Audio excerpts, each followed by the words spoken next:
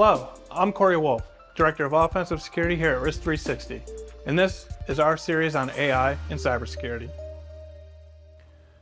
When we last met, we gave a brief history of AI and machine learning and how we got to the point that we're at today. As we work this, through this series and understand the differences between how attackers are using AI, how defenders are using AI, and where the industry goes from here, we need to understand some basics. It doesn't get any more basic than training a model. Chat GPT, generative pre-trained transformer. Model training can be a very complex process, but we can break it down into some high level areas. It all begins with obtaining the data and then normalizing the data.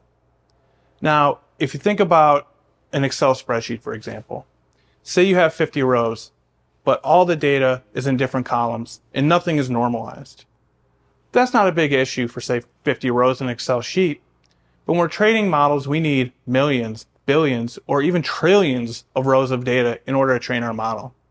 This can be quite the feat.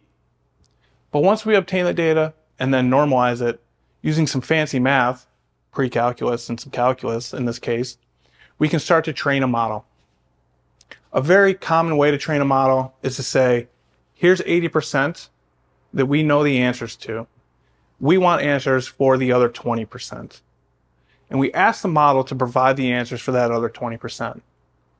Now, since we already know the answer for that remaining 20%, we can calculate a loss function. So how correct was the model when we asked it for those answers? We calculate that loss function and we say, we think we can do better. We adjust some parameters in the model, we run it again, and we continue to do that until we've minimized the loss function. So basically, how correct are we in our model? The model is considered trained when the loss function has been minimized. It'll never be zero, but we want to do the best that we can to get as close as possible. Just like people, machine learning algorithms will never always be correct. Once we've minimized that loss function, we can consider our model trained. We can then move on to deploying the model, which we'll talk about next. Thanks for watching.